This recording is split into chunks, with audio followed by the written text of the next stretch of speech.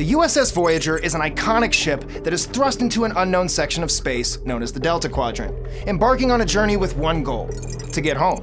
In Star Trek Fleet Command, the USS Voyager comes equipped with an impulse speed rivaling the Vidar and the fastest warp speed in the game. Its passive ship ability, Feels Like Home, deals extra damage to hostiles marked with the DQ tag in Delta Quadrant space.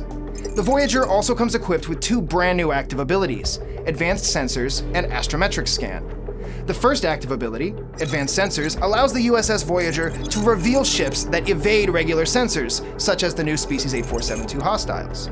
The second active ability, Astrometric Scan, can be used on another player's ship to reveal the coordinates of their station. This ability can come in handy when you're on the hunt for more resources or to get revenge against a hostile commander that raided you.